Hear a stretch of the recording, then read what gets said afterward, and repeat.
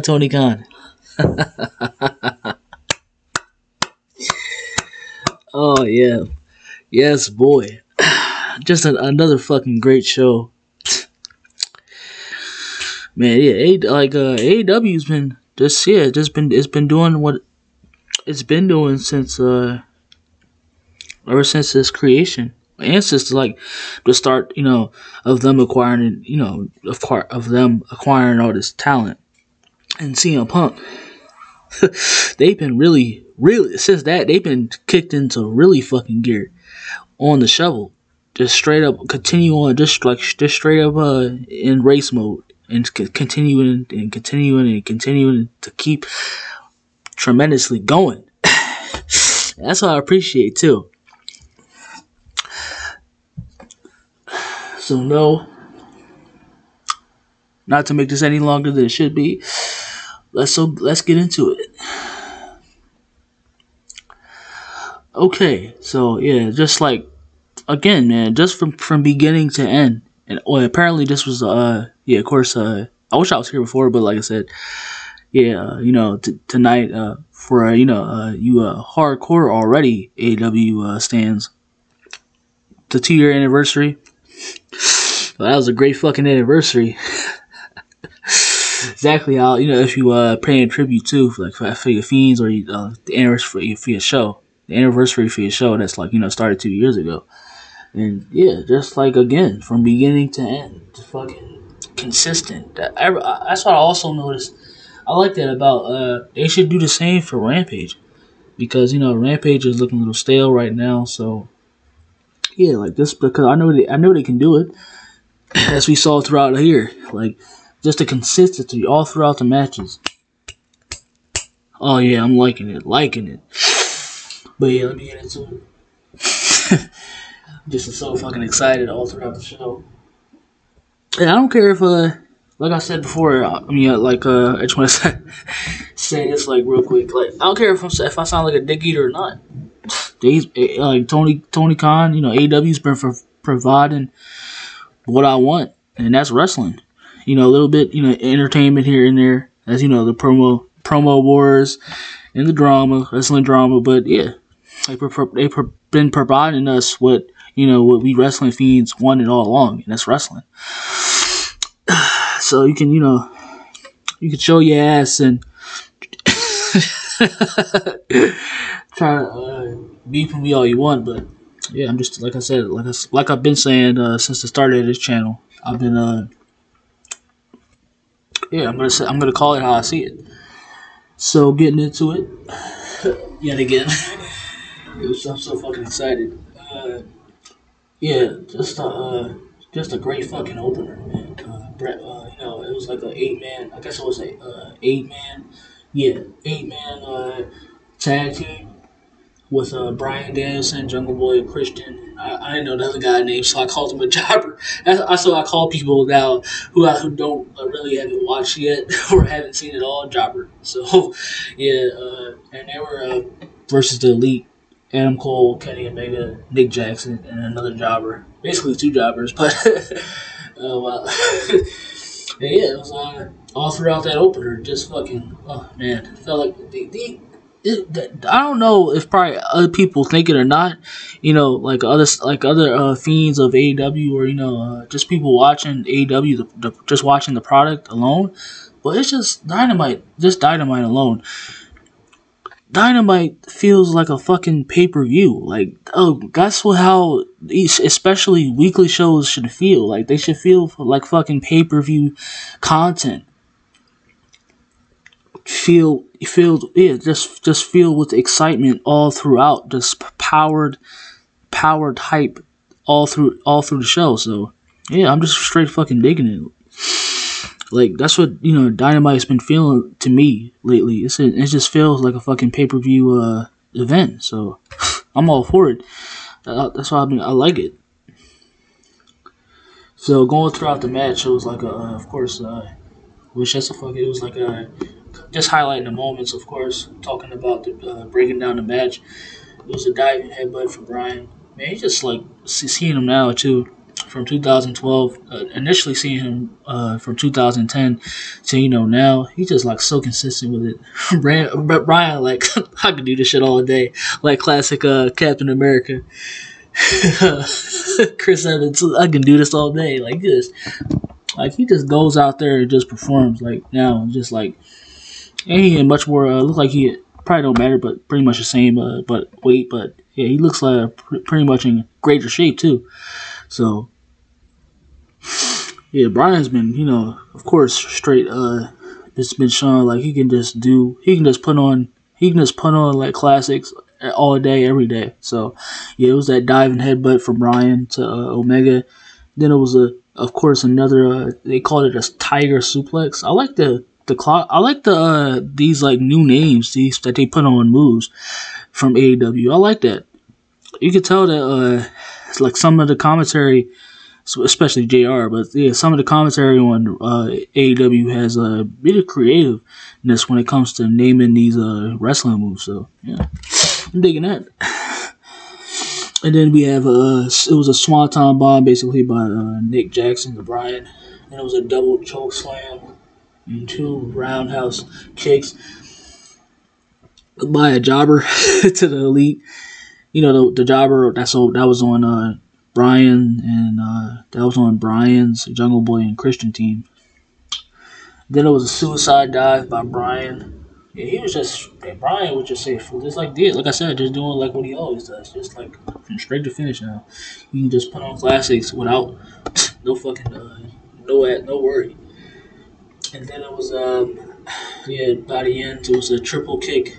Oh, that triple kick was nice. Oh gosh, like I like the the, the two the double teams in this uh like during like the tag teams like they just like they do it like everybody it just seems like everybody in these tag teams and the AEW just feel like they're on the exact same fucking page and I like that. Wow, that's actually uh, perfect uh, chemistry as they did a uh, you know the Elite did a trooper a triple super kick and finisher to Bryan, and of course they won the the Elite winning the match with uh, Adam Cole over Bryan Danielson for the cover to the uh, victory. Yep, straight up certified classic, straight up and fucking phenomenal opener, phenomenal. Uh, yeah, basically, uh, yes, that's all. Like, uh, if you watch me, if you was uh, watching me, uh, you know, like everybody else on Twitter, yeah, just like that's exactly how you should cut. Exactly how you should uh perform an opener from beginning. If you if you and you know if you're in the, if you're going to be in this wrestling business, especially as a promoter, that's exactly how you need to have your shows. All consistent, just consistent to consistency.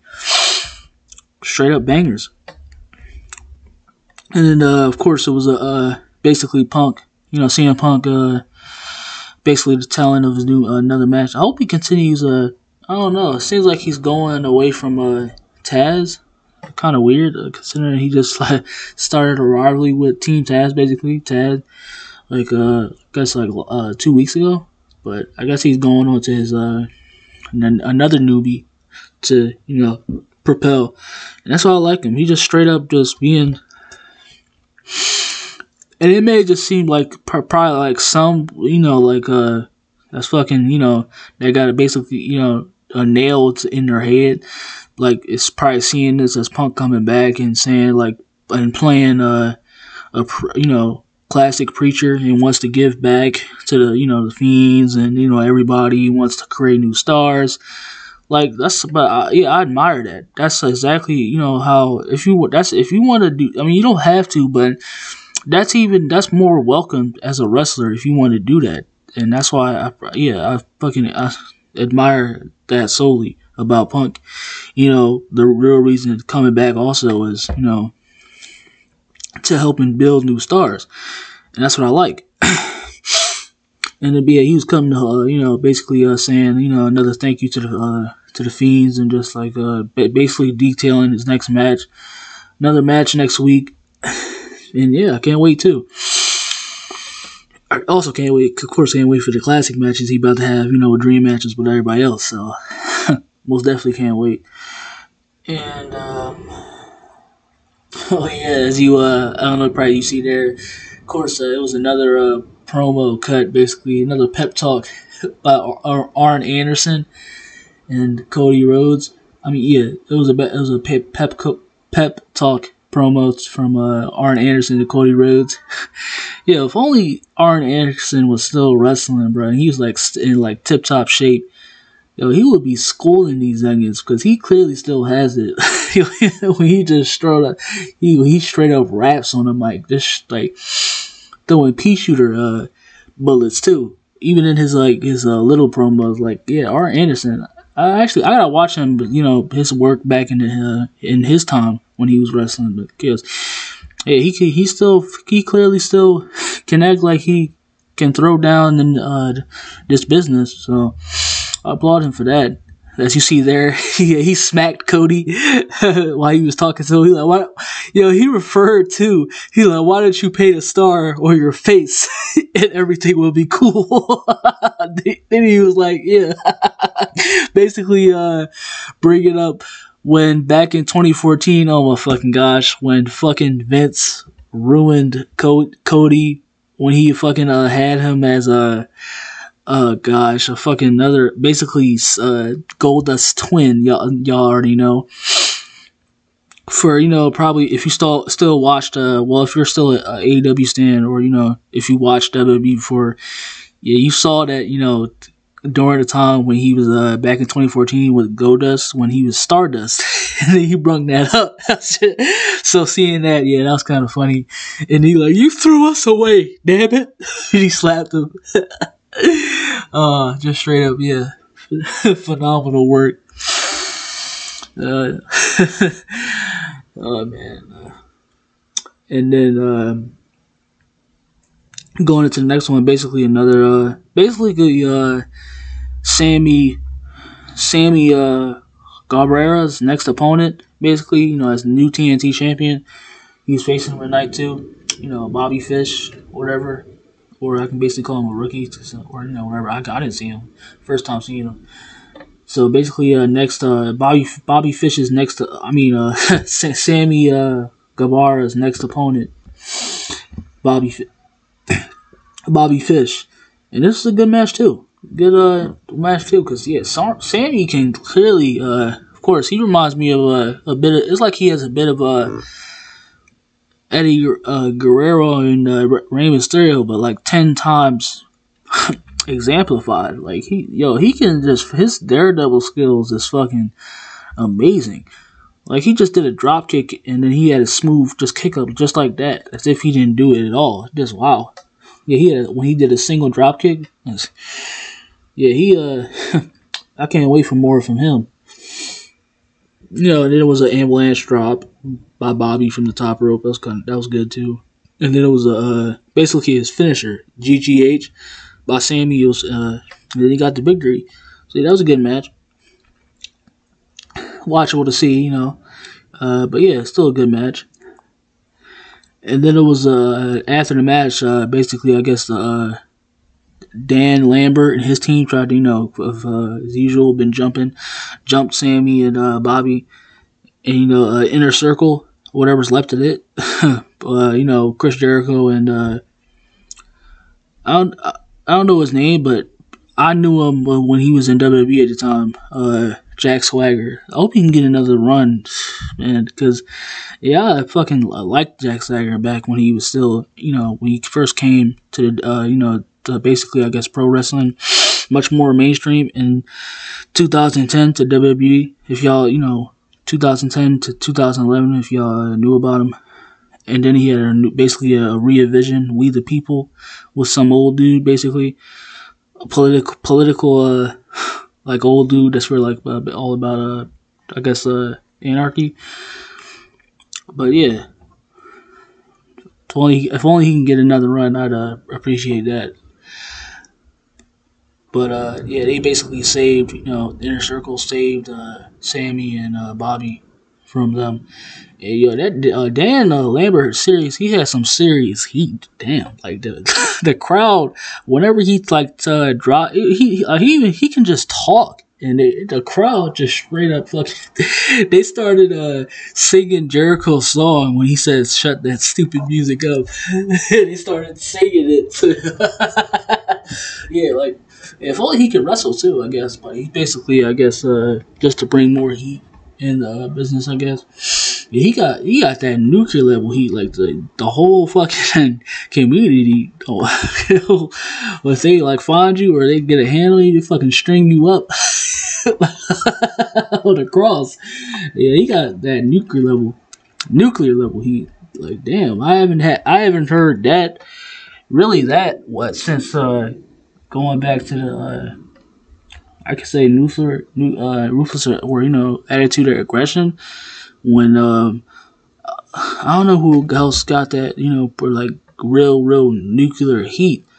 Only uh, I saw we can only saw glimpses of it was when uh, you know Shawn Michaels when he was basically uh, trolling as he uh, does uh, when he was trolling uh, between uh, you know 2000 to 2005 you know trolling Montreal you know Canada fans about Brett that match still you know that Montreal screw job and then yeah that's still like basically the only time I saw nuclear heat like that or you could say, I guess you could say Roman Reigns because he was hated at the time when they was trying to push him, you know, the whole debacle with him trying to, you know, Vince trying to push him to the moon.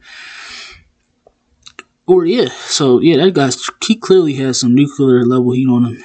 Damn, that was a uh, what a that was some moments were there. And then uh, of course, uh, yeah, Tony Khan is definitely uh, showing that too that he cares about the women's division, which I also very much appreciate too because uh of course also he uh made he's making basically a mid card belt basically to uh you know to the world you know like how you know where women has a uh, a world championship like in SmackDown like SmackDown or Raw Women's Championship, and then you know they have like, and then like you know, or no, I could put it this way, like you know when it has like the World Championship or the WWE Championship, and then they have the Intercontinental Championship. That's what basically the women is getting. They're getting their own fucking, you know, secondary championship, and that's fucking amazing. That's terrific. I like that because, as you said, uh, I mean, I said to y'all, but as I said, uh, yeah, I'm very, you know, I'm really, I've been enjoying. I'll say for uh, going back to 2018 because that's when I first got a glimpse it was like I guess three years uh, going into the removed or basically like basically in the women's revolution. But yeah, I very much have been enjoying women's wrestling. I fucking love women's wrestling. So, like I said before, if you've been hearing on my channel, like I love that they're getting, you know, acclaim and basically also which I'll talk about later too. But you know that they've been getting their claim, their due, you know, their own whatever their own. um their own tournaments, you know, shows, everything about them that's about that's catered that's around them, just like the men. I love that. Absolutely fucking love that. And people, you know, pe- people who not behind it, especially like fucking, you know, misogynistic bitches, then fuck off and don't watch because uh, you, know, you don't say like you could just not watch and just say that you don't like it, but don't say like the meat and shit about it. So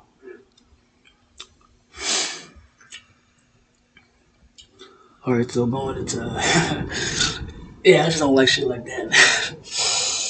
know, but uh, people try to, especially women's wrestling, when they try to put that down, they basically said like, you know, it should go back to being to the era which were, you know, y'all know I won't mention that, go too deep into it, but yeah, hate shit like that, especially in wrestling.